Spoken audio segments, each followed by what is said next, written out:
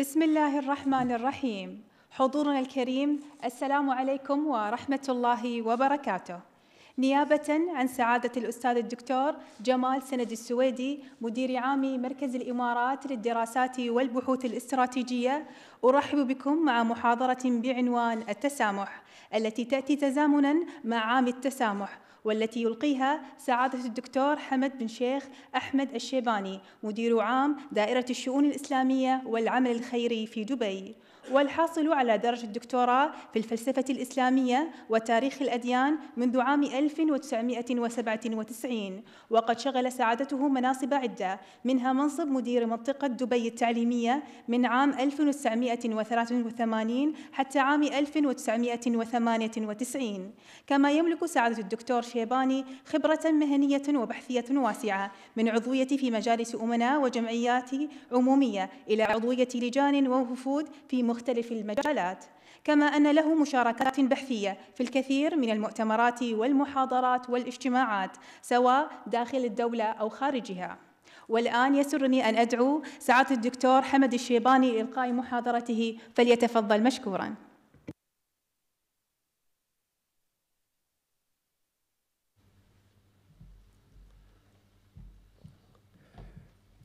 بسم الله الرحمن الرحيم الحمد لله رب العالمين والصلاة والسلام على أشرف الأنبياء والمرسلين من دولة الإمارات العربية المتحدة وحتى ظل قيادتها الرشيدة ممثلة بسيدي صاحب السمو الشيخ خليفة بن زايد آل نهيان رئيس الدولة حفظه الله ورعاه وأصحاب السمو حكام الإمارات وصاحب السمو الشيخ محمد بن زايد آل نهيان حفظه الله من أرض التسامح من عاصمة التسامح في عام التسامح صباح التسامح. اليوم ونعيش في عالم متغير لابد أن ندرك وفي خطى متسارعة أن دولة الإمارات العربية المتحدة لم تقم من فراغ وإنما قامت على يد مؤسسها المغفور له بإذن الله تعالى الشيخ زايد كانت ولا زالت هذه البصمات مستمرة في كل المجالات سواء على المستوى المحلي أو المستوى الإقليمي أو المستوى العالمي. وعام التسامح في حد ذاته لم يأتي من فراغ إنما كان من جهود متواصلة على مدى سنوات منذ قيام دولة الإمارات العربية المتحدة. وتستمر هذه المسيرة ليتولى هذا الأمر الشأن الخطير الحقيقة على المستوى المحلي وعلى المستوى الإقليمي وعلى المستوى العالمي. سيدي صاحب السمو الشيخ محمد بن زايد حفظه الله. الأخوة الكرام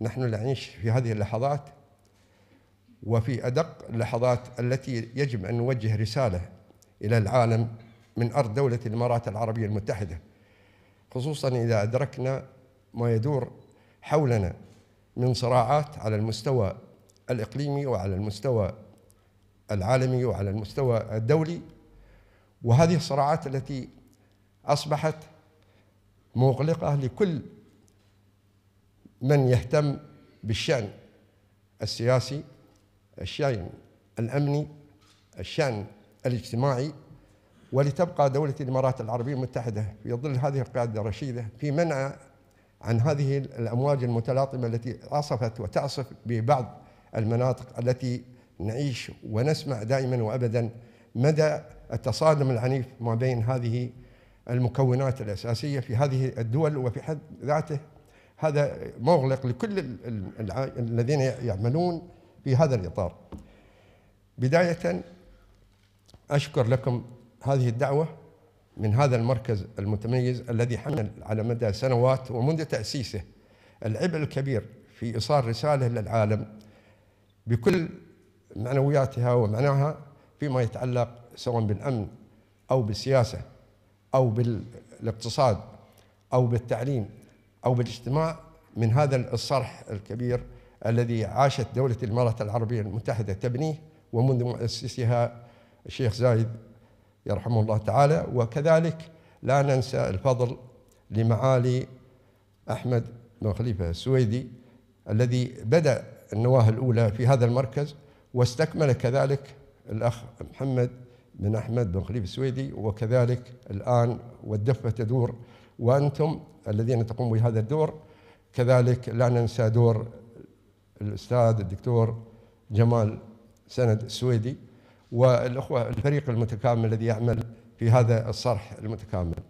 أه، اسمحوا لي في البداية أن نعود لمؤشرات بدأت فيها دولة الإمارات العربية المتحدة لتقدم هذا النموذج في العيش بأكثر من 200 جنسية على أرض دولة الإمارات العربية المتحدة وتتعايش منذ نشأتها بكل مكوناتها بكل ما أتيح لهذه المجموعة التي تعيش على أرض دولة الإمارات المتحدة لتكون هذه الرسالة موجهة من كل العاملين على هذه الأرض وتنطلق هذه الرسالة الكل منا رسول في أي موقع على مستوى العالم.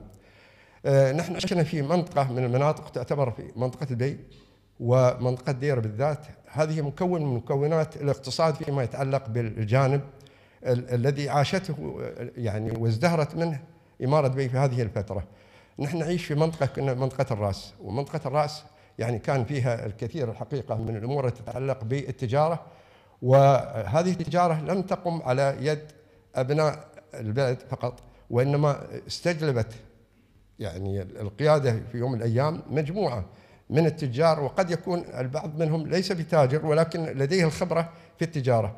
على سبيل المثال في تجارة الذهب أو تجارة فيما يتعلق بمواد البناء أو في مواد التصنيع وكان التصنيع في غالب الأحيان يدور حول السفن وكانت في يوم من الأيام نتكلم عن عمارة نتكلم كلمة عمارة يعني بمكوناتها التي من خلالها نستطيع أن نبني سفينة ونجهز سفينة وهذه السفن كانت سواء للتجارة أو كانت للغوص وهذا أهم شيء كان يعني أهم شيء بالنسبة لمصادر الدخل في هذه المنطقة.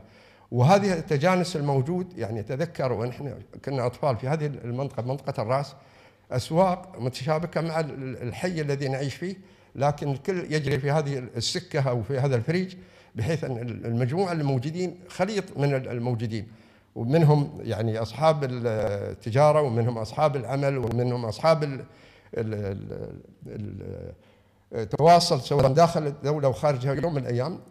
لكن آه، الشاهد في ذلك أننا كنا نعيش ولا نحس أن هناك فوارق ما بين هذه المجموعة الموجودة ولا من حيث آه، الديانة ولا من حيث لأن البعض منهم كان بوذي. على سبيل المثال أصحاب الذهب ويعني العاملين في الذهب وتجارة الذهب كانوا هم من البانيان. إذا الكلمة هذه واضحة عندنا. البانيان الموجود كان من اليوم هو المسؤول عن آه، موضوع الذهب. في المقابل كانوا عندنا موجودين مجموعة من غير يعني آه، أهل السنة كانوا موجودين في هذه المنطقة. كانوا تجار بعضهم كان يبيع سجاير البعض منهم يبيع بعض يعني مكونات التجارة الموجودة في نفس اليوم. والبعض الآخر كان يبيع يعني من المواد الأقمشة وغيرها. فهذا الخليط اللي كان موجود والنسيج الموجود في هذه المنطقة كون عندنا نوع من القناعة بأن الكل يسعى ويقدم نفس الخدمة التي نحتاجها. بعد الانطلاقة وبعد قيام دولة الإمارات العربية المتحدة أصبحنا نعيش مع هذه المجموعة والكل لا ينسى دور يعني الحكام في هذه الفترة في إنشاء آه، بعض المستشفيات وهذه المستشفيات التي يعني جاءت في فترة من الفترات قبل دولة الإمارات قيام دولة الإمارات. كان هناك مكتب للتطوير.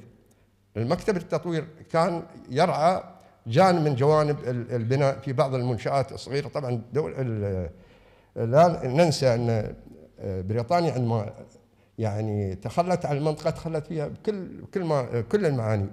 لا هناك أي خدمات موجودة لا شوارع لا جسور لا تعليم لا آه، صحة. لولا أن دولة الكويت قامت بدورها في تلك الفترة قبل دولة الكويت كان هناك يعني مؤشر على أن مكتب التطوير ومكتب التطوير عمل بعض الأمور التي استطاعت يعني على الأقل في قيام الدولة أن تبني هذا الجانب.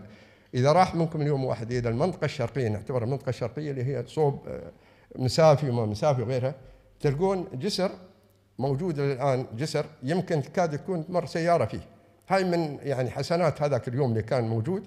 هذه السيارة إذا أنا بعبر الجسر يمكن بهذا الطول لازم توقف السيارة حتى تطلع السيارة الثانية نقطع الوادي. يعني ما كانت العملية بالسهولة اللي نحن اليوم نتصورها والحياة اللي كنا نصورها. نطلع من بيتنا وصرنا نشتغل يعني في هذه المناطق الوديان وغيرها. إذا روحنا من البيت لين نرجع ما لا عندنا اتصال لا عندنا أي وسيلة للاتصال اليوم نحن الحمد لله في نعمة متكاملة. هذا فقط يعني من باب نذكر أنفسنا على الأقل. يعني نحن كيف وصلنا إلى هذا المستوى؟ كنا من يوم من الأيام يعني ولا شيء. حتى عندما احتاجت دولة الإمارات المتحدة في قيامها كل اللي كانوا موجودين درسوا خارج الدولة اللي درس في قريب من مناطقنا وبعيد من مناطقنا هم اللي أسسوا الدولة من وزراء ومن وكلاء ومن مدراء. في فترة قيام الدولة كانوا هم الموجودين. عموما آه، ننتقل إلى من عندكم النقل التمهيد فيما يتعلق بالعمل وموضوع التسامح. دولة الإمارات العربية ما بدأت من فراغ. بدأت منذ اللحظات الأولى وهو يتكون مكونات أساسية في النشأ نحن عشنا في مدارس كان فيها مجموعة من المدارس الحكومية والخاصة وهذه المدارس من بدايتها حتى فيها بكل ما هو موجود. نحن يوم من الأيام كنا في آه، جنيف آه، في اجتماع يعني الفكرة الأساسية بالنسبة لتكوين المعهد الدولي للتسامح. فالتقينا بالمدير المعهد المعهد السلام الموجود في جنيف وبعد ما تكلمنا وياه لقيت عنده معلومات كثيرة عن دولة الإمارات وبالذات عن دبي. فأسأله أقول له شاب كان من الشباب أقول له أنت وين؟ هو ألماني طبعا يدير المعهد الموجود في في جنيف.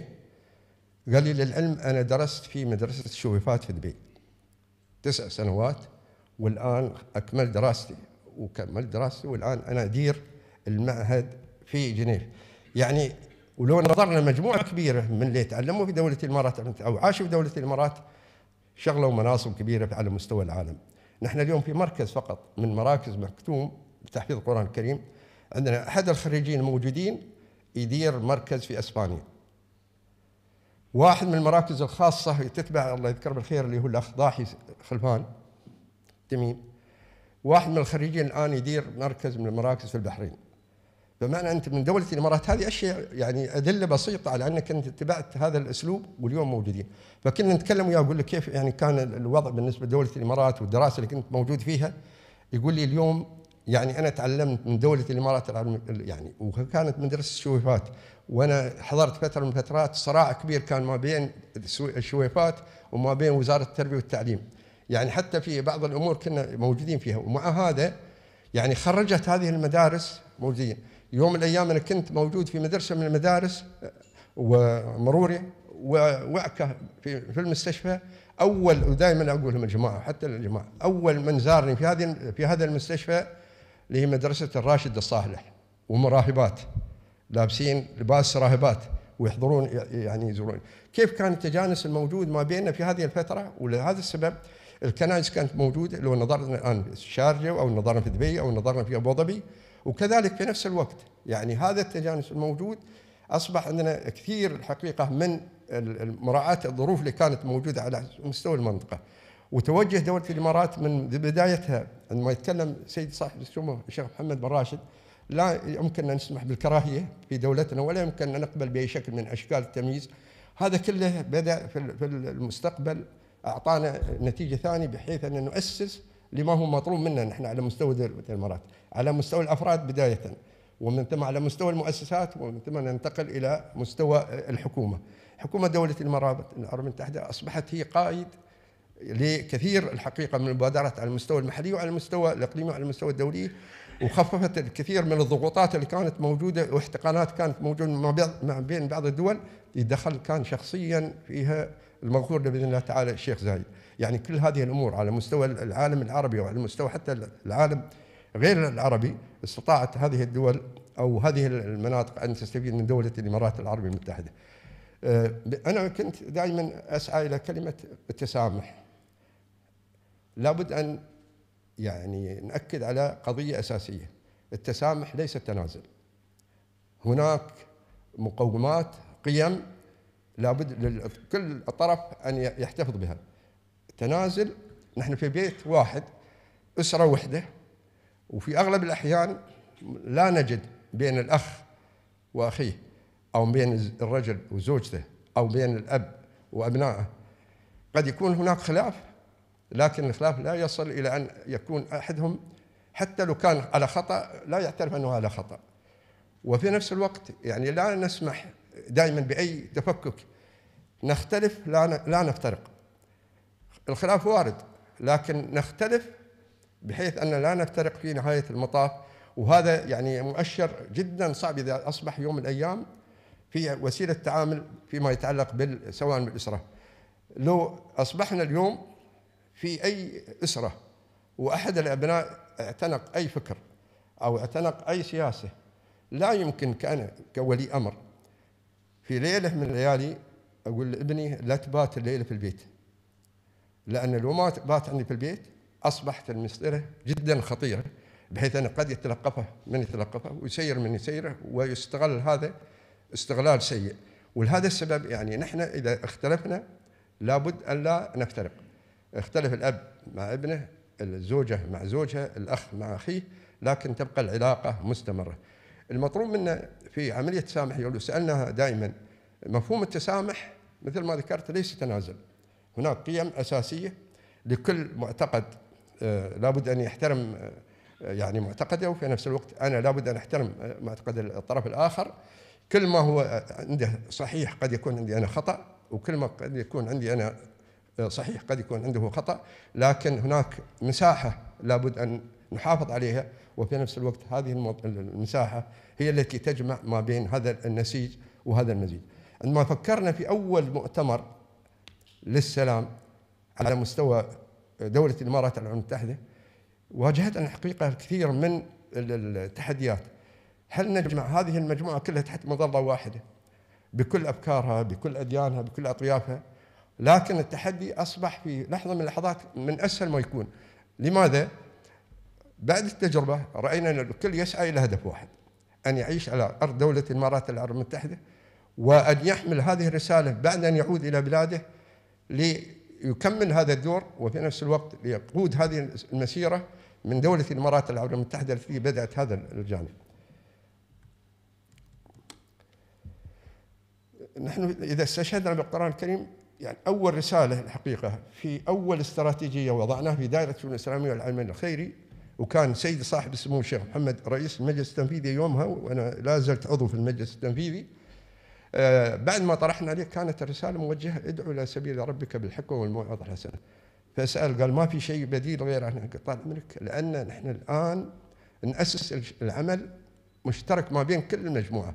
لا إكراه في الدين لا يعني تعدي على الطرف الآخر.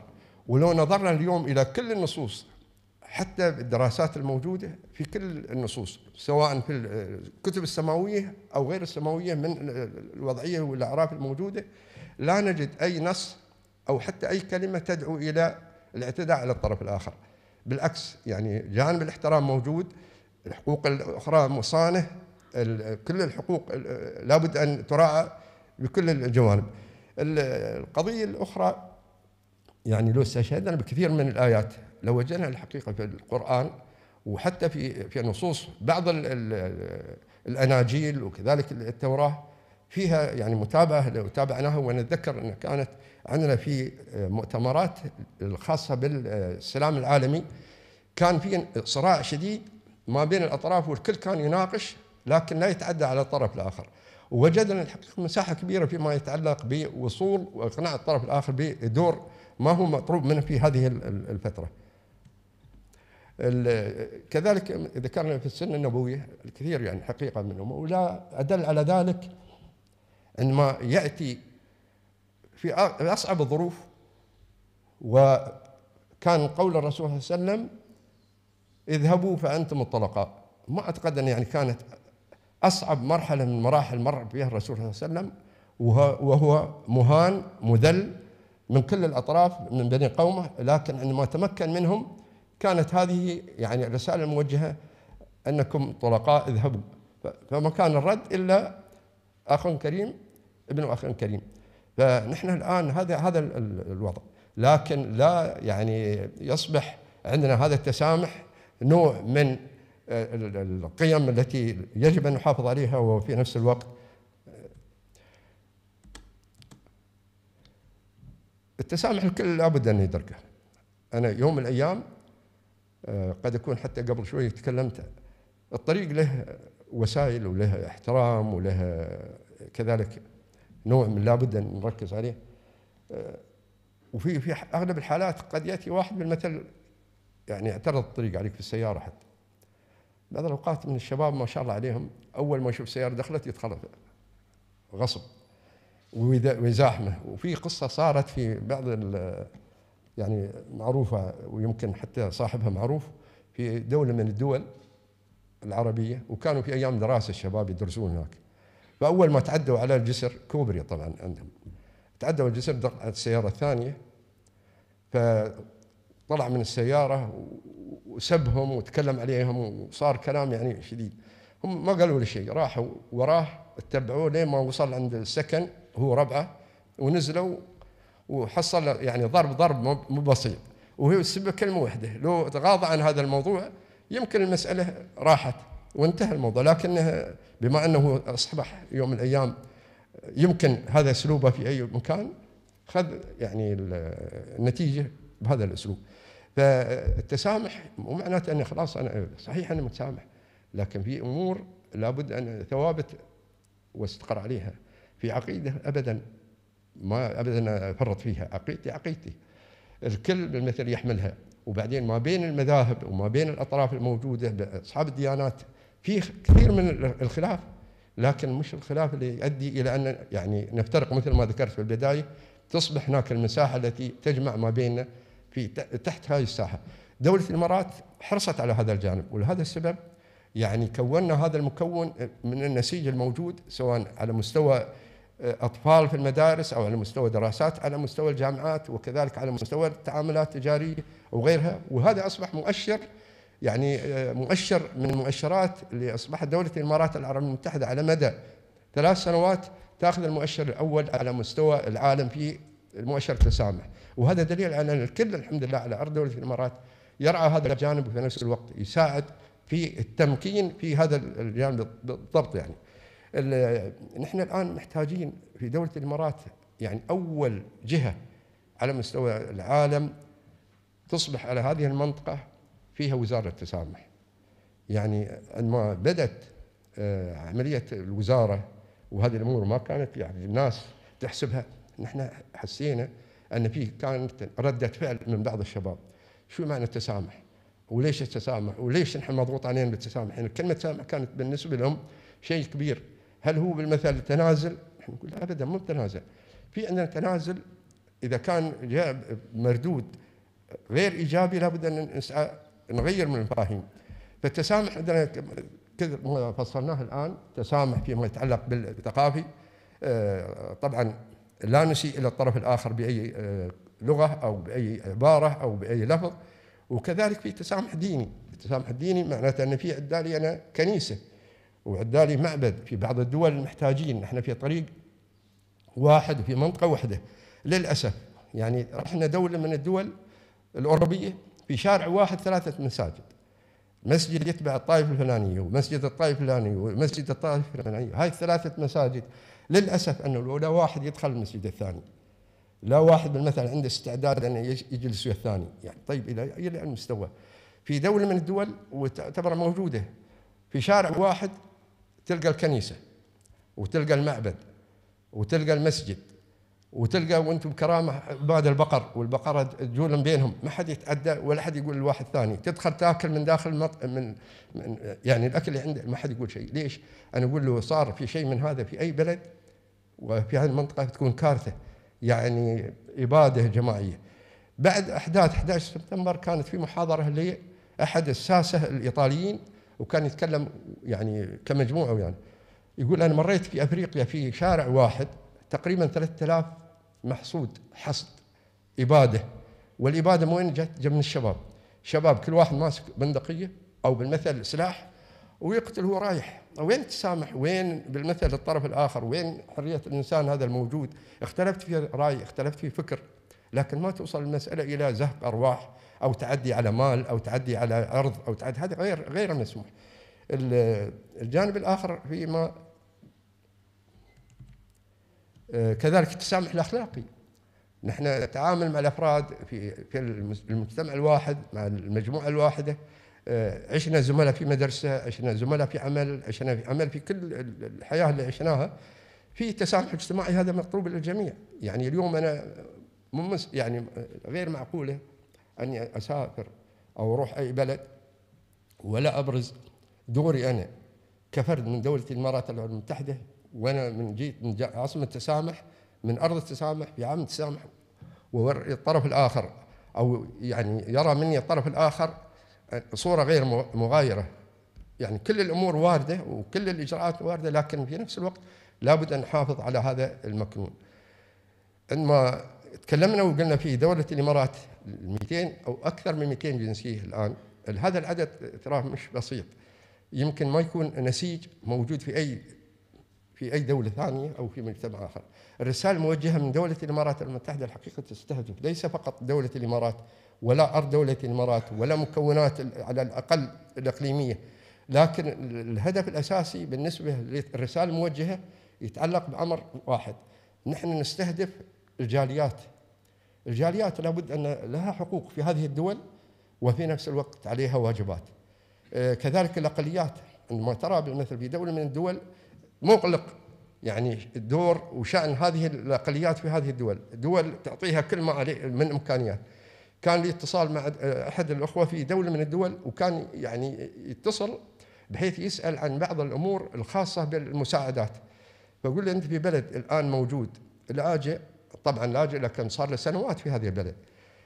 عندك عمل؟ قال والله أنا صار لي فترة بدون عمل لأنه بعض الظروف اللي صارت.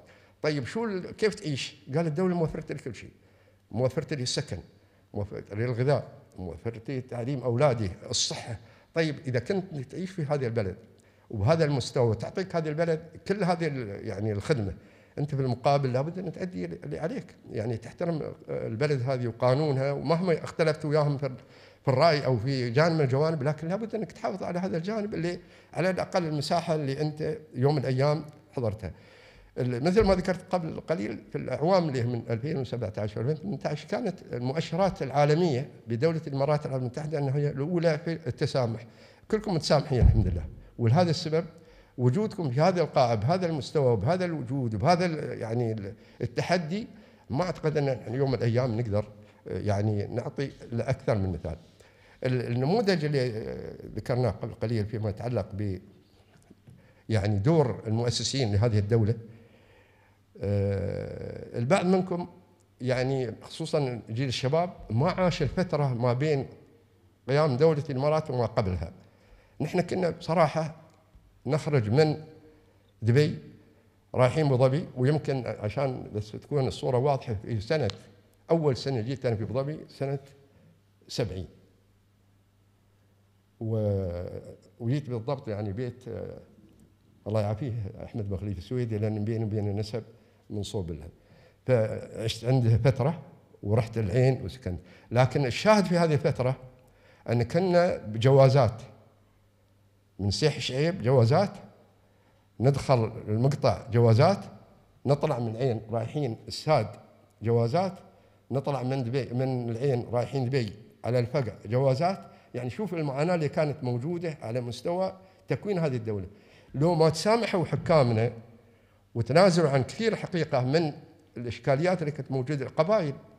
والقبائل لها مطالب ومع هذا يعني استطاع الشيخ زايد الله يرحمه أي نزاع يكون موجود في أي منطقة في أي يعني حدود كان ينشئ يعني معلم وكان من ضمنها القصور على سبيل المثال القصر اللي في الذيب أو في فلج معلة أو في غيره أو في الخوانيج.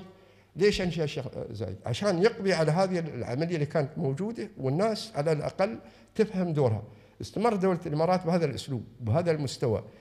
في يعني الشواهد اللي كانت موجودة أن نعيش في دولة وكانت من الصعوبة أنك يعني تحس حتى في آخر يوم عندما تعلن بريطانيا انسحابها من المنطقة كنا يعني نتكلم عن وضع الله يعلم شو اللي بيصير.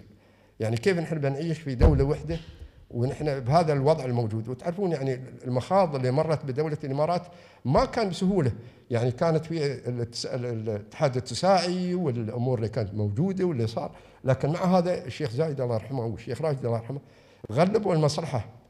يعني تركوا مساحة كبيرة بالنسبة لنقاش بعض الأمور فيما يتعلق سواء بالعاصمة أو بغيرها. هذه الأمور يعني خلوها متأخرة بحيث أن نبدأ وبعد ما نأسس الدولة كل شيء ينتهي. وهذا هو أول يعني آه، هدف فيما يتعلق بعمليه التسامح. التحدي اللي كان موجود إنشاء دولة. وهذه الدولة بدون مقومات. يعني بصراحة ما كانت مقومات موجودة، نحن نطلع من دبي نروح حتى مقوين. مقوين كان في احتباس على على البحر على أساس إنك تعبر هذا يعني الممر. تروح المقوين أو تروح أي منطقة، يعني كنا بصراحة نعيش في منطقة فيها كثير من التوتر. لكن عملية التسامح وتغليب المصلحة العامة على المصلحة الخاصة هذا اللي هو يعني ترك من دولة الإمارات.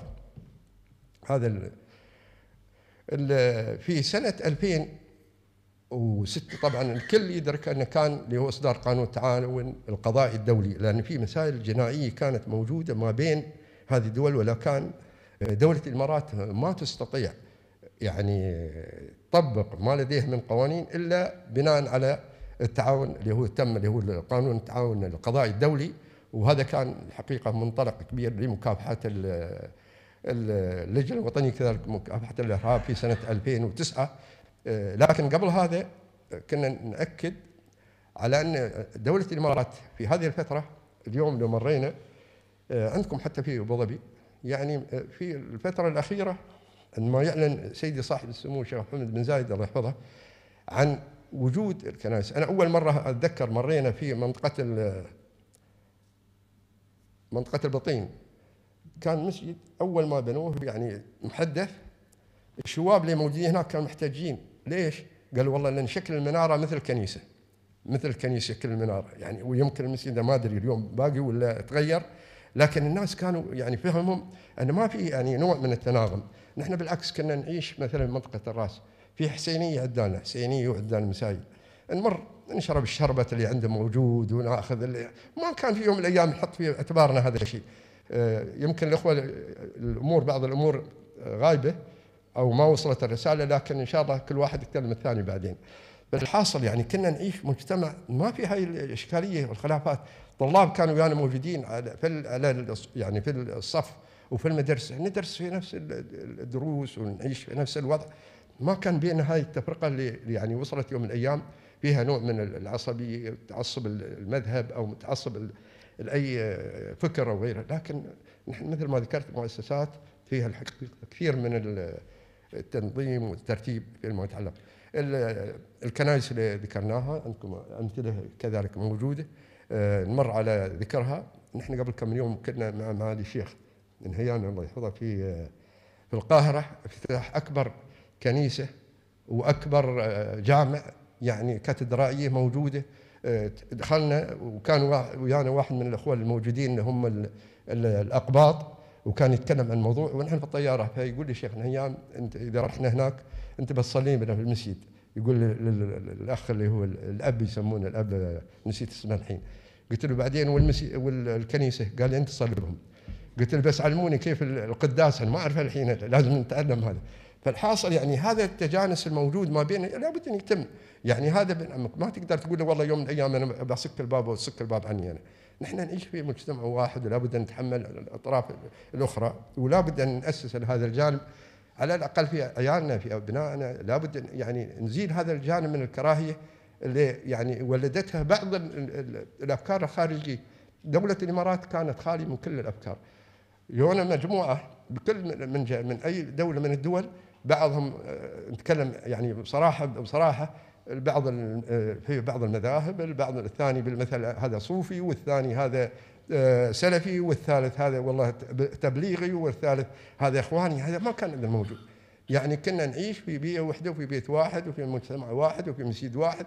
أصبحت يوم من الأيام أنا وليت مسؤولية دائرة من الدوائر كانت في إشكالية وجماعه الشباب يدرون يعني كان لها يعني خط واحد لكن الماجيد ودخلت الدائرة. لقيتهم هذه كلهم عيالي يعني. كلهم ربعي كلهم جماعتي. كيف أنا بالمثل أتعامل وياهم؟ لابد أكون مكون جديد كلهم تحت مظلة واحدة يعيشون كل أفكارهم. بعدين إحنا نفترق نختلف في شيء لكن ما نفترق. كنا في صراحة في المساجد حتى عندنا في دبي من سيد هاي تبع جماعة والثاني يستغربون إذا أنا دخلت المسجد هذا وكيف داخل هذا المسجد وكيف. يعني شو وصل إلى هذا المستوى.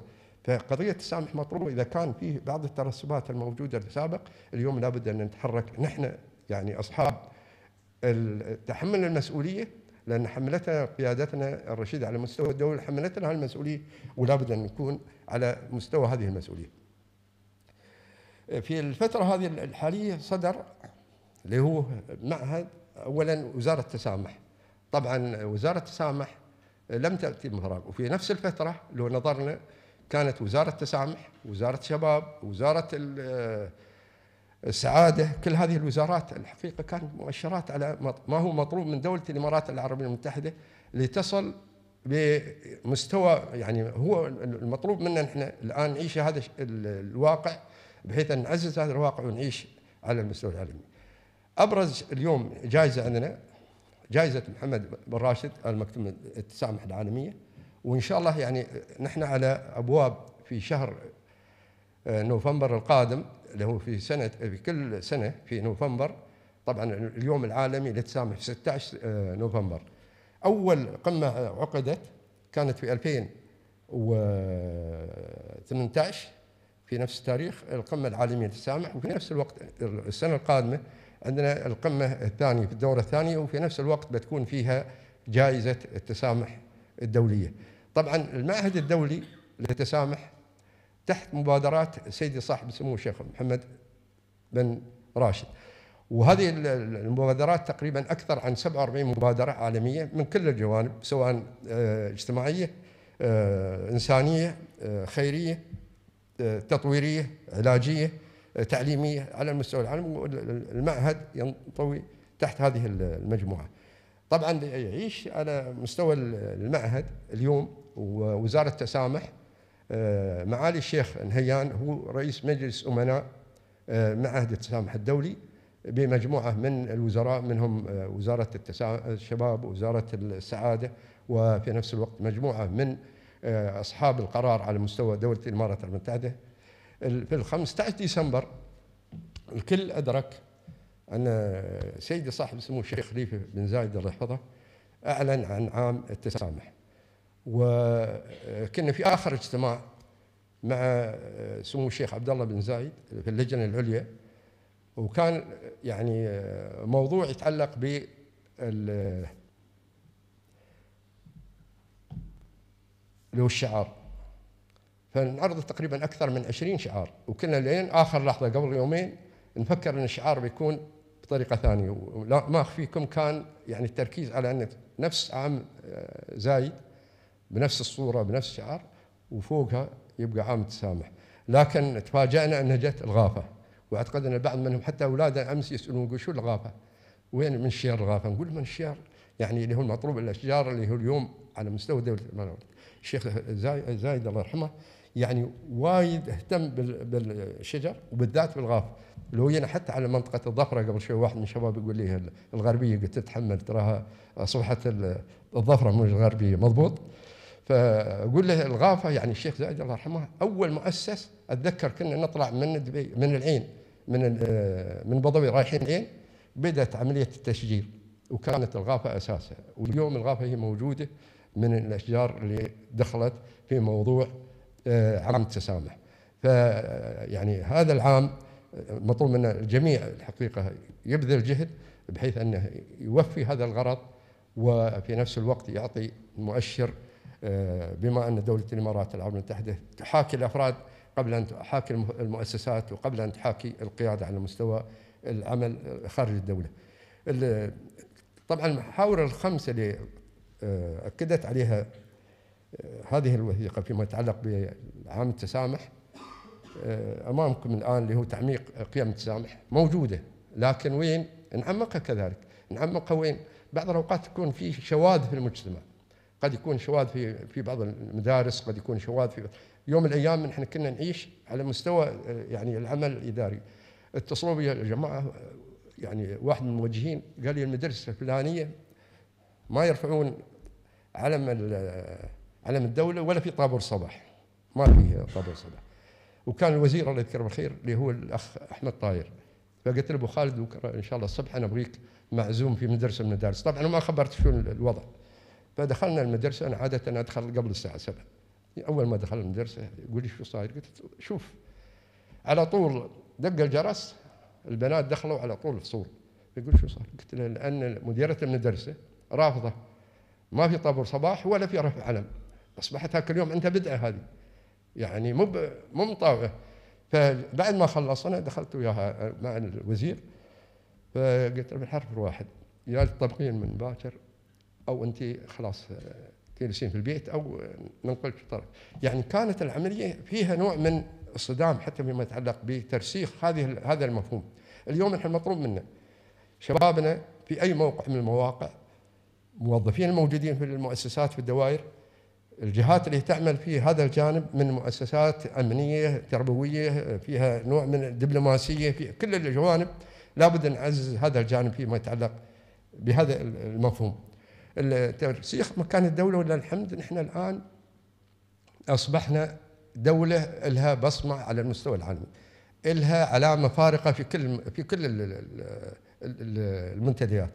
رحت اليوم أنت في أي موقع في العالم سواء تمثل جانب إعلامي أو جانب دبلوماسي أو جانب حتى كنا في الاجتماع الأخير اللي كان يضم السفراء والهيئات الدبلوماسية على مستوى العالم من الدول من دولة الإمارات الكل يحمل هذه البصمة. يعني اليوم نحن على مدى سنوات تكلمنا عن عام الابتكار وتكلمنا عن عام الخير وتكلمنا عن عام زايد والآن نتكلم عن عام اللي هو التسامح.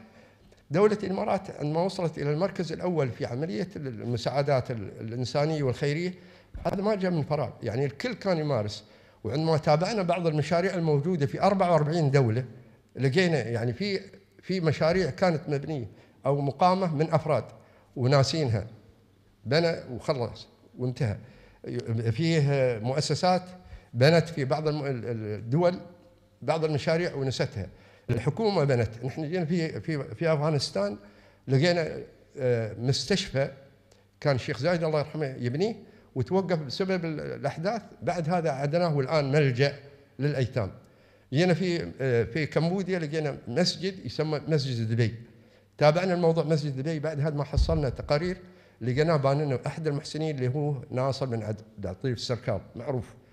فأخذت الملف كامل وارسلته للاخ عيسى سركال ورجع مرة ثانية أعاد تهيئه المسجد وكمله وفتح فيه في مركز تحفيظ قرآن وفتح هذه نحن مشاريعنا خيرية وانسانيه اجتماعية في أي موقع من المواقع لابد أن نتأكد عليها وفي نفس الوقت لابد أن نعطي مشاريع كبرى فيما يتعلق بالعمل والتفكير الآن خصوصا إذا التحديات الموجودة سواء الصنع اللي هو الافتراضي أو الذكاء الافتراضي أو الفضاء أو غير الأمور هذه لابد أن نضع الجميع في هذا المؤشر. آه، أنا كم ختم الوقت؟ بعد وقت علي؟ آه خمس دقائق لي خمس دقائق؟ إذا يسمحوا لي.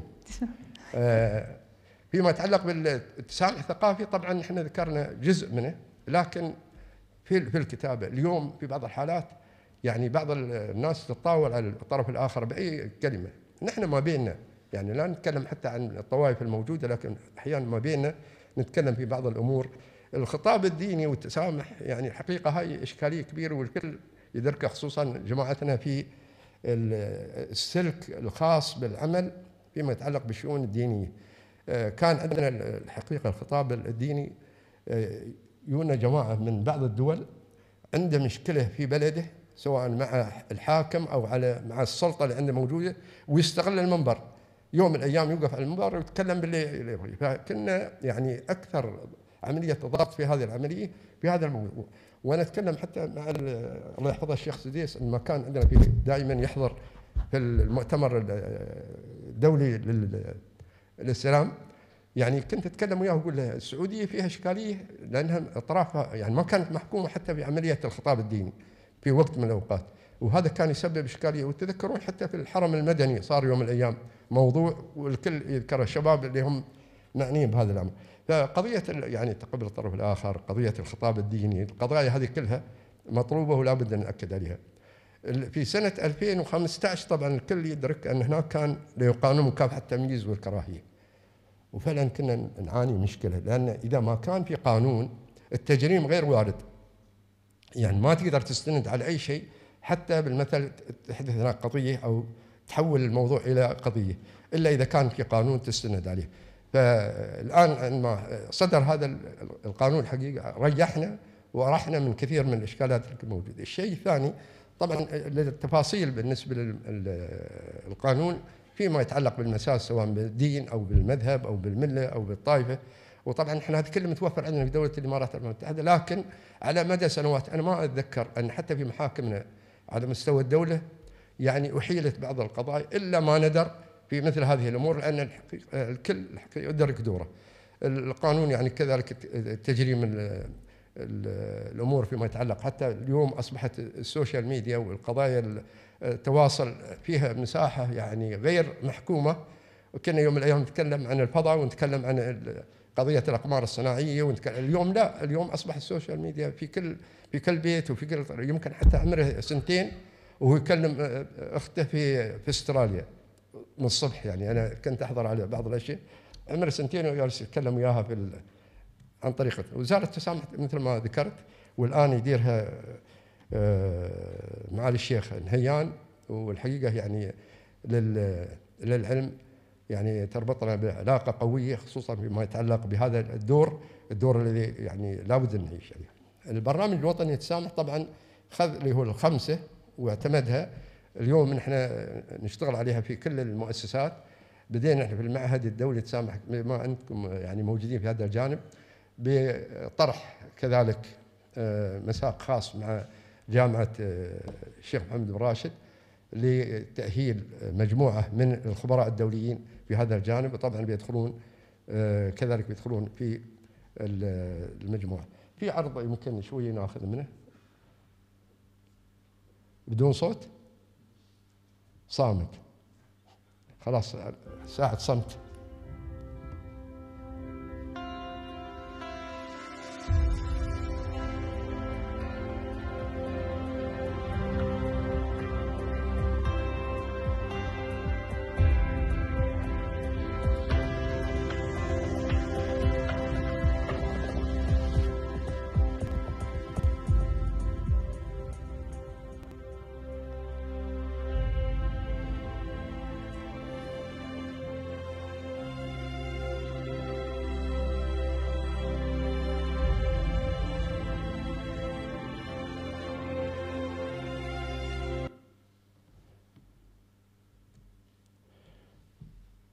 طبعا القانون مثل ما هو أمامكم والجائزة كذلك موجودة وإن شاء الله يعني في الدور القادم اللي في آه، نوفمبر القادم في 16 بتكون 16 17 عندنا. والآن إحنا نعد للمؤتمر بيكون في نفس اليوم. المجموعة المستهدفة طبعا في عندنا خمس آه، تقريبا أفرع للجائزة منها المؤسسات أو شغل إذا نذكر كذلك في في شهر آه، السنة الماضية الشيخ آه، سيدي الشيخ محمد الله يحفظه يعني أمر باعتبار جسر اللي هو يعتبر من الجسور الموجوده على القناة المائية في دبي. هو جسر تسامح. حضرنا يعني تدشين الجسر وكان معالي الشيخ نهيان وكان دور كبير الحقيقة لهيئة الطرق لأن هذا معبر الآن بالنسبة للمنطقة وموقع يعني ترفيهي وفي نفس الوقت معبر مائي. يمكن الجميع يدرك أن هذه القناة يعني أصبحت توصل ما بين خور دبي وما بين الخليج العربي على المستوى المنطقة تمر بجميرة وفي نفس الوقت واجهتنا مشكلة في بعض المساجد اللي موجودة في نفس الممر وحتى اتفقنا وياهم وحولناها إلى مواقع أخرى. القمة اللي صارت طبعا فيها كان مشاركين آه، عندما فتحنا المجال بالنسبة للتسجيل كان هدفنا المستهدف فيها 500 آه، فرد شخصيه سواء على مستوى الدولة لكن لا أخفيكم إن بعد ما فتحنا التسجيل تسجل عن حوالي 1880 يعني العدد اللي كان مستهدف 500 آه، واجهتنا مشكلة حتى في عملية الصالة اللي كانت أو القاعة اللي صار فيها الحدث. يعني عندما تأخذ 500 ويكون العدد عندك 1880 كان في إشكالية لكن الحمد لله وشاركوا فيها مجموعة كبيرة.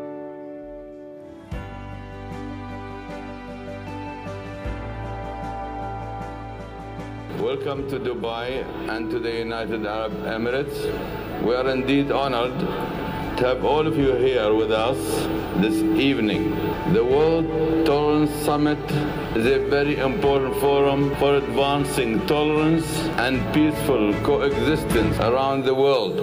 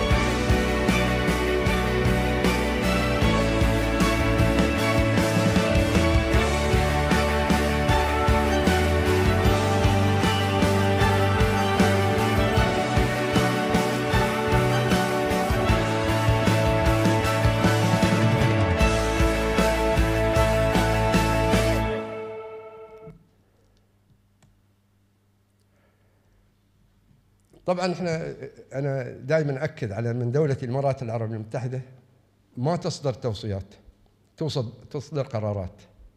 وهذا التحدي الكبير يعني ما عندك شيء اسمه توصيات. وهذا يعني جربناه في كل المحافل الحقيقة على مستوى الدولة تصدر مثل ما ذكرت قرارات وليست توصيات. وهذه الحقيقة يعني مكسب كبير لأن القيادة تدعم من كل الجوانب سواء الجانب المادي أو المعنوي وأهم شيء عندي أنا يعني الدعم المعنوي. الكل يذكر أن هذه زيارة اللي قام بها قداسة البابا وكذلك آه، شيخ الأزهر يعني ما اتت من فراغ. الكل يدرك أن كان فيها جهود كبيرة يعني شخصيا من صاحب السمو الشيخ محمد بن زايد الله يحفظه وكذلك كان دور كبير للدبلوماسية الإماراتية ممثلة في سمو الشيخ عبد الله بن زايد. ثلاث سنوات وكان العمل يجري على تحضير هذه الزيارة. في تحديات. يمكن حتى في أيام الزيارة البعض منهم في ال social media ونحن ندري أن الجهات اللي كانت تدير هذه العملية ليست من دولة الإمارات. اللي يديرها من جهات ثانية مغرضة وهي تتمنى يعني تعمل نوع من الشوشرة وتعمل أي إخفاقات بالنسبة لدولة الإمارات المتحدة اللي هي ترعى هذا الجانب جانب توقيع أهم وثيقة الآن على مستوى العالم اللي هي الأخوة الإنسانية. والحقيقة يعني كان فيها تحدي كبير كان الحضور بالنسبة لل للقداس اللي كان موجود في أكثر عن 170 ألف وقعت حتى المدينة الرياضية كانت الطاقة الاستيعابية 135 وهذه كانت يعني مقرر حتى في اللجنة العليا لكن يعني سبحان الله الحضور كان متميز وكان الحضور يحظى يعني مباشرة برعاية كريمة من سيدي صاحب السمو الشيخ محمد بن زايد ومتابعة كذلك من سيدي صاحب السمو الشيخ محمد بن راشد. التوقيع هذه الحقيقة ولدور كبير اللي هو مجلس حكماء المسلمين.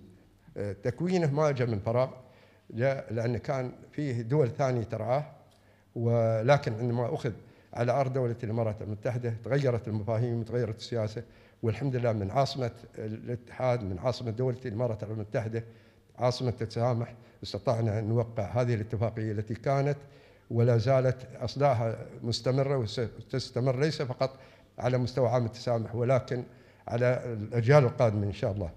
آه، بالنسبة لل يعني ما كان بودي اختمها لكن يمكن تسامحوني في الوقت اللي أنا استقطعته دائما إحنا أيام الكرة والرياضة وغيرها نستقطع وقت فاسمحوا لي في الوقت المستقطع. عموما هذا يعني أمر آه، الكل مسؤول عنه. وهذه أمانة حملتنا الدولة كقيادة الكل فرد منا. نحن ولله الحمد نشأنا في جيل متسامح نشأنا في جيل ربى الكثير الحقيقة من القيم وصدرها الخارج. صدرنا في كل ما يتعلق سواء بالمساعدات الخيرية أو الإنسانية أو أي جانب من الجوانب. عمر دولة الإمارات العربية المتحدة ما صدرت شيء اسمه فكر. صدرته بدون منه. صدرته من قيام الدولة وأنا على يقين يعني اللقاءات اللي كانت موجودة وأتيحت لنا يوم من الأيام. حتى مع المغفور له بإذن الله تعالى الشيخ آه، زايد وكذلك الشيخ راشد. يعني ما سمعنا منهم إلا كلمة خير. كانوا دائما يرعون هذا الجانب. فمنياتي دائما وابدا نعيش على أرض التسامح. في ارض في على أرض التسامح في عام التسامح وأنتم كذلك تسامحونا في أي تقصير. والسلام عليكم ورحمة الله وبركاته.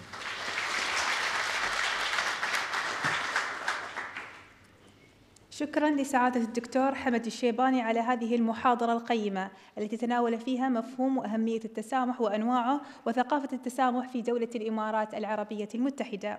والآن نفتح باب المناقشة. أرجو ممن يريد أن يطرح سؤالا أو مداخلة أن يقف ويقدم نفسه ويكون سؤاله أو تعليقه مختصرا حتى تتاح الفرصة لأكبر عدد ممكن من الحضور للمشاركة تفضل. أستاذ مبارك السلام عليكم ورحمة الله وبركاته. مبارك الزعابي. أه سعاد الدكتور أولا آه، جزيل الشكر على الحضور وجزيل الشكر على المحاضرة التي غطت جميع الجوانب. أه نحن شاكرين لك شاكرين حضورك شاكرين وجودك. ذكرتنا بالأيام الجميلة. أنا أعتقد نفسي من الناس اللي آه، تقريبا مررت بهذه الأوقات اللي مريت فيها سعادتك. آه، نحن عشنا مع كل الأديان في دولة الإمارات منذ بداية الاتحاد وكلوا وشربوا معانا في بيوتنا وكنا شربنا معاهم طلعنا ومثل ما تفضلت قبل شوية نمر وناخذ العصير والأمور هاي الطيبة. آه، سعادتك من وجهة نظرك شو الأسباب الرئيسية اللي أدت إلى اختلاف ذاك الزمن ذاك مع أنه كان بداية الاتحاد الثقافات والعلوم ما كانت بهذه ال- القوة والحضور. الآن ولله الحمد ال- زمن الانفتاح الدولة انفتحت على جميع ال- ال- المجالات. فشو الأسباب الرئيسية اللي وصلتنا إلى هذا الحد؟ دخول الث- ال- الأفكار هذه اللي هي مش من مجتمع دولة الإمارات. شكرا سعد.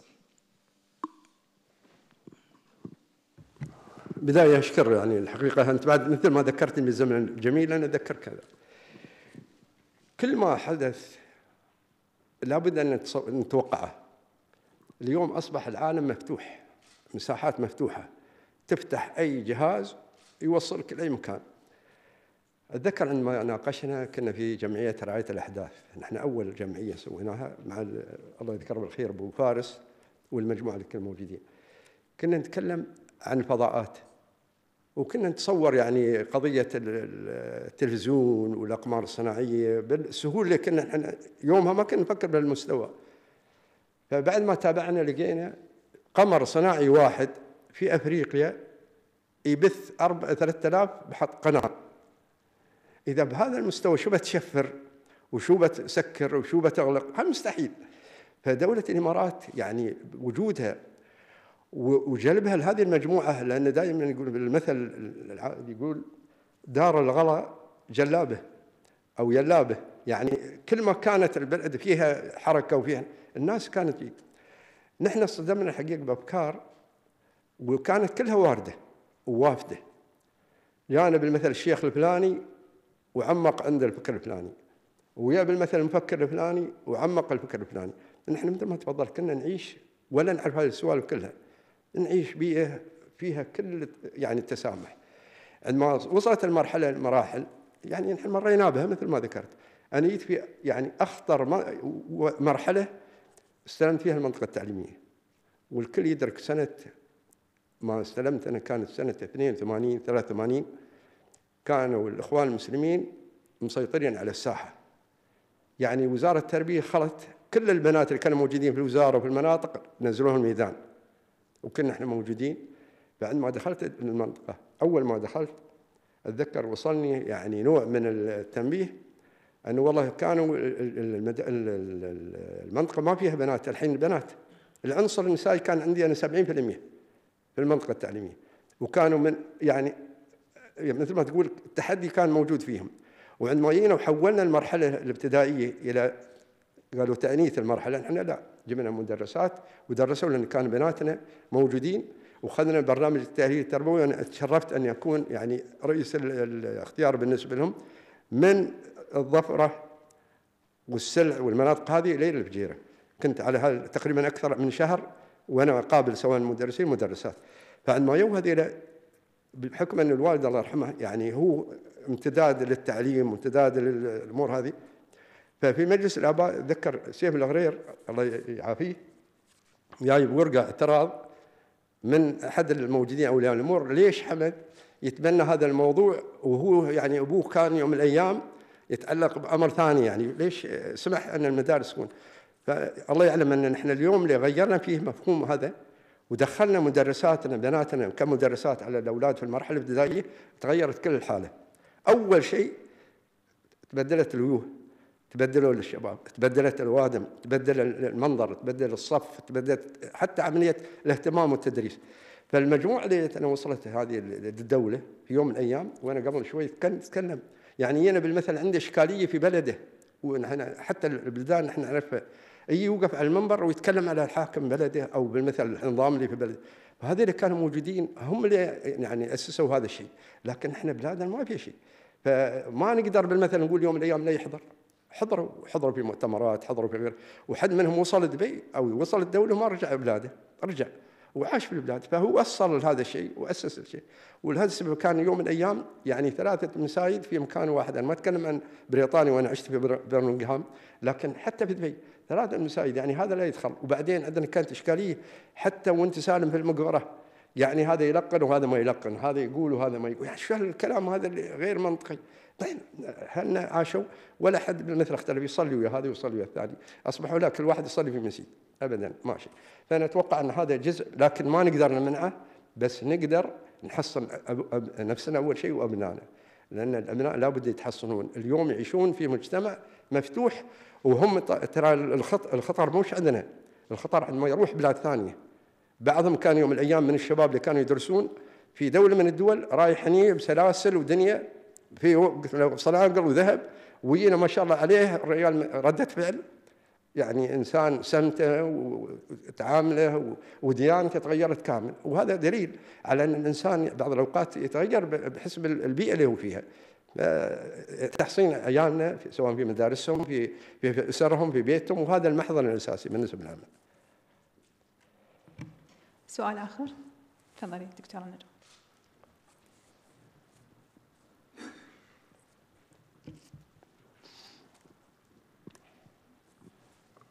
السلام عليكم السلام عليكم. آه شكرا جزيلا دكتور سعد الدكتور على هذه المحاضرة القيمة آه سؤالي لك بالنسبة للتسامح والديمقراطية لو تلاحظ يا دكتور إنه في هجوم غربي يعني أنا أسميه هجوم غربي نوعا ما متطرف حتى بفرض نمو نموذج ديمقراطي معين الغربي على الدول العربية ودول المنطقة. في أنا كتبت كثير في موضوع من يسبق من التنمية أم الديمقراطية. الحد الآن الغرب مو مستوعب إنه إنه الديمقراطية وسيلة ما هي غاية وإنه إذا تبغى تطبق الديمقراطية بالنموذج الغربي في منطقة فيها إيديولوجيات دينية متطرفة وفيها هذا التطرف وفيها عدم التسامح النتيجة ما حتكون ديمقراطية النتيجة حتكون عنف نتيجة حتكون طائفية زي ما شفناه كيف النموذج الغربي لما تطبق على بعض الدول العربية وبعض دول المنطقة سؤالي هل بإمكان الإمارات بتسامحها ونموذجها من خلال معهد التسامح الدولي تقدم نموذج متكامل الغرب يعني موازي للنموذج الغربي؟ أنا أعتقد إن دور المعهد في حد ذاته دور يعني تأصيل لرسالة وتبقى أدوار المجتمع لابد أن متكاملة.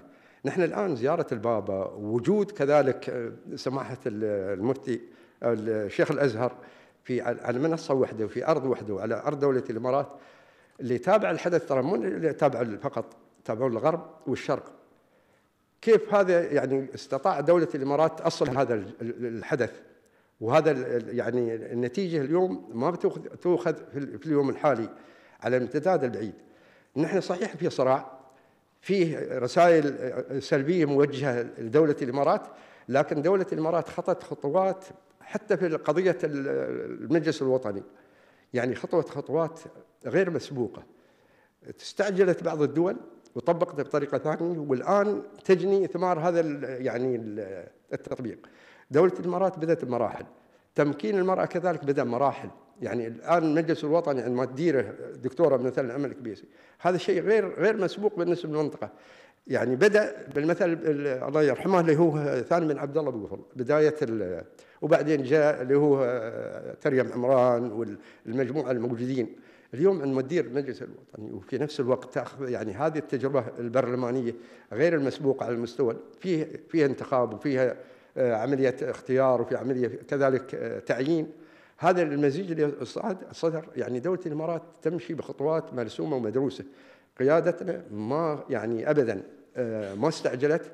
ولا اعطت بالمثل المؤشرات سريعه بحيث أن نحن نطبق لكن تسابق الزمن. نحن اليوم مطالب منا ليس المركز الأول مثل ما يعني دائما سيدي صاحب السمو الشيخ محمد بن راشد يتكلم ويقول المركز الأول ابدا. هو يسعى إلى مركز أكبر عن الأول وهذا التحدي موجود الكل من يعيش على دولة الإمارات، نحن ما نستثني سواء مواطن أو مقيم على هذه الأرض هو اللي يحمل هذه الرسالة، نحن كل يوم من الأيام نستعرض قضية في المجلس التنفيذي والشيخ الله يحفظه اللي هو سمو الشيخ حمدان بن محمد ولي العهد رئيس المجلس التنفيذي وقف في المجلس. قال يا جماعة الشيخ محمد ما يطلب المركز الأول. يطلب المركز قبل الأول. فقلت له الله المستعان. أنا يعني ردة فعل. فرد لي الشيخ مكتوم يضحك يقول لي إيه؟ قلت له طال عمرك يعني نحن كم بنركض؟ يعني بلد تسابق الزمن. ولهذا السبب كل واحد منا موجود. على ارض دولة الإمارات من شبابنا من المقيمين أهل الأرض المحترمين. هذه الأرض لابد أن يحملون هذه الرساله فنحن الرسالة الآن نوجهها لا ما علينا خوف ابدا. نحن في تحدي والتحدي دولة الإمارات قادرة على هذا الأمر بقيادة رشيدة تستشرف المستقبل وفي نفس الوقت ترتكز على مكتسبات من الماضي. ما تأسست دولة الإمارات من فراغ ابدا بالعكس نحن مرينا بالتجربة. ومثل ما مرينا بهالتجربة نحملها الكل من هو موجود على هذه الأرض. آه، سؤال آخر؟ آه، قبل أن نختتم آه، هل لك سعادتك أي كلمة تقولها؟ والله الكلمة اللي أنا يعني تسعدني تشرفني أني أنا في هذا الصرح الكبير صرح عشت فيه يوم من الأيام يعني ما أخفي سر حكيته للشباب الموجودين كالموجودين. أنا يوم من الأيام عندما كنت أقدم دراسات بالنسبة للدكتوراه جيت واختفيت في هذا يعني الصرح بين المكتبة وبين الكتب. يعني أيام ما كانت الوسائل مختلفة يعني ما كان هذا الموجود. ما اخفيكم هالكلام يمكن سنة 96 قضيت فيه من أجمل اللحظات وفي هذا المكان واستفدت من استفادة كبيرة. وكنت أبحث في موضوع يتعلق بقضايا يوم من الأيام كلفت من من حكومة بشؤون القصر. شؤون القصر كانت مؤسسة تتبع سيدي صاحب سمو الشيخ خليفة. وجيت وتغديت عند الأخ آه، اللي هو بالركاض كان هو يعني يومها. وهذا الصرح يعني بصراحة حتى الآن عندما مر أعتز به. قبل كم يوم كان عندنا اللي هو الحدث بالنسبة للبابا والأمور هذه فأتذكر أقول سبحان الله يعني هاي يوم من الأيام مرينا هذا المكان وشفنا فيه وعشنا فيه فأقول لهم الجماعه كان الأخ حمد علي مر علي وقال لي أنت شو تسوي هنا؟ قلت والله جالس أقدم اوراق ودكتوراه قال لي فراح وكلم الأخ محمد محمد بن بن أحمد بن خليفة وجاني لأن أنا تربطني وياه نسب فقال لي ليش جاي هنا ومختفي ولا تخبرنا؟ قلت له والله أنا كل شيء الحمد لله متوفر. قال بنوفر لك كتب وأوراق وغير. قلت له الورقة تنطبع وتتصور عندكم نص درهم هاك اليوم. أنا ما أبغي شيء يعني مساعدة منكم بالعكس أنتم وفرتوا لي هذا الجو. فأنا هذه من الأمور الشيء الثاني نحن نعيش فعلا تسامح على مرض على أرض تسامح. أنا مريت بتجربة عشنا يعني في أكثر من موقع زرنا كنايس حضرنا لهم على مستوى الدولة حضرنا معابد. كذلك أنا لي علاقة قوية بالموقع اللي هو مجلس الأوقاف الجعفرية. نختلف وياهم في بعض الأمور لكن نتفق في أساسيات العمل واساسيه العمل الحفاظ على هذه الدولة بكل مكتسباتها. نحن نعيش في أرض الحمد لله فيها الخير بكل مكوناته اتذكر في آخر لحظة يعني موضوع نحن عندما جينا رجعنا من مؤتمر الإرشاد الأول في اليمن بعد أحداث 11 سبتمبر وجمعنا الله يحفظه الشيخ محمد بن زايد. عنده وكانوا كل الطوائف الموجودة. فأنا أقول له يعني يكفينا في دولة. إذا ركبنا السيارة لو آخر الليل مع أولادك وصار لك لا قدر الله ظرف وقفت بطرف الشارع وجلست أو نمت ما حد يقول لك وين رايح. يعني في الأمان هذا. فأرجع له أقول أنت درانا يعني نحن نعيش في دولة الحمد لله الله حافظنها بكل ما فيه الشيخ محمد كذلك يمكن الوقت شوي تعطوني دقيقتين. عندما حضر السنة قبل الماضيه الجلسه في القمة آه، هنا في العاصمه أبو ظبي نحن كلنا نمثل اللي هو المساعدات الإنسانية والخيرية وكانت معالي ريم الهاشمي هي رئيس الجلسة ونحن موجودين دكتور حمدان كذلك والربع موجودين. فأقول للشيخ محمد جزاك الله خير يعني هذا اللي نحن عمله دولة الإمارات من جوانب دعم مادي وإنساني على مستوى العالم تراه هو يرفع عنا البلاء. لكن ذكرت بشيء ثاني أقول له يعني الشباب الموجودين الآن أقول له طال عمرك آه، أحد الأخوة الوزراء عندما صار التشكيل الوزاري اتصل به. قال لي حمد أنت كيف تعاملون الشيخ محمد؟ يعني لأنه هو شايف. قلت والله الشيخ محمد ما يبغي واحد يتثاوب قدامه ما يغمض. يعني ما تتثاوب قدام الشيخ محمد. قال يقول له اللي تثاوب قدامنا نطلقها. يعني شوف التحدي الموجود في دولة في هذا الإمكانية. فكل واحد الآن يعني يعيش تحدي. وتحديكم تراه فيه خير فيه كل الجوانب. يعني أنتم ما وصلتوا إلى هذه المواصيل إلا بالدعم اللي موجود وبر الوالدين مطلوب في كل مكان. فالبركة فيكم وإن شاء الله دائما نلتقيكم على خير. واسمحوا لي في عام التسامح في يوم التسامح صلاة التسامح من أرض التسامح أنكم في كل تقصير وأنا في الخدمة في أي لحظة.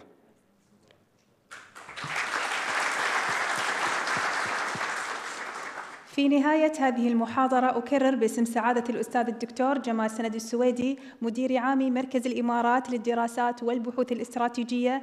الشكر والتقدير لسعادة الدكتور حمد الشيباني العضو المنتدب للمعهد الدولي للتسامح ولكم أيها الإخوة والأخوات الحضور. وإلى اللقاء في فعالية علمية قادمة. والسلام عليكم ورحمة الله وبركاته.